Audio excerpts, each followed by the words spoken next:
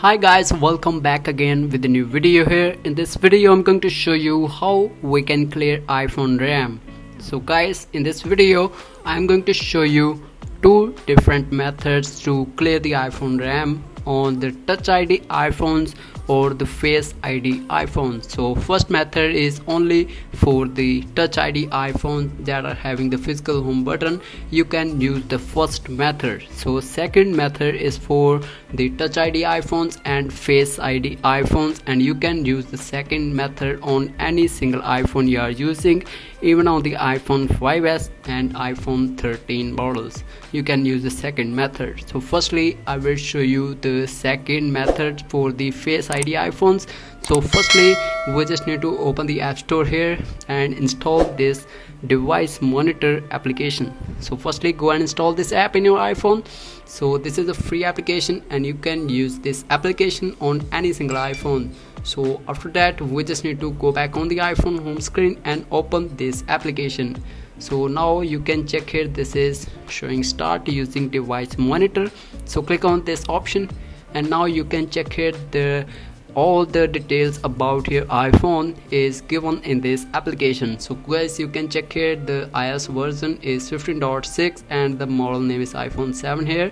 So you can use and you can see all the details about your iphone. You can check here. These are the sensors here and this is having the touch id not the face id 3d touch and all the sensors you can see in this application. So you can check here. This is the ram section here.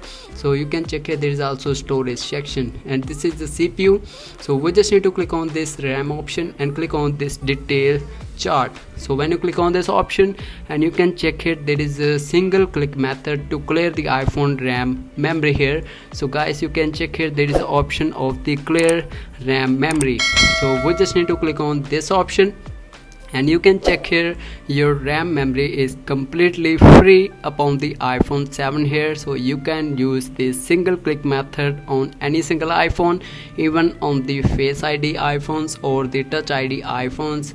And that are having the touch id or face id you can use this second method. So firstly now i will show you the first method. This method is only for that iphones that are having the touch id and you can check here i'm using the iphone 7 so firstly we just need to take the iphone into shutdown mode just like this one. So we just need to put the iphone in shutdown mode. And now we just need to press the home button of the iphone and keep pressing the home button while my iphone comes on the home screen automatically. So we just need to wait here guys. Now you can check here i'm keep pressing the home button of my iphone 7 here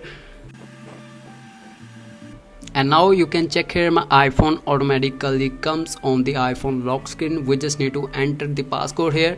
And you can check here all the ram memory is completely clear on your iphone. And you can use this these two methods on any single iphone to clear the iphone ram storage. So i hope you guys find this method helpful. Please give a like and also share this video with your friends so guys they can also know that how to clear the ram memory on the physical home button iphones and the face id iphones so i will see in the next video. So guys thanks for watching